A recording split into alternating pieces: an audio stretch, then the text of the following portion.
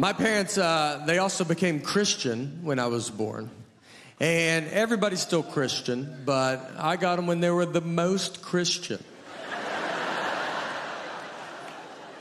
I had 80s and 90s Christian parents. Well, that's the most Christian you can ever get of the Christian.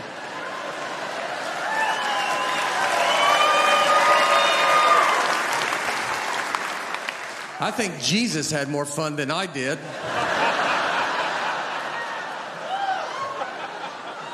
There's,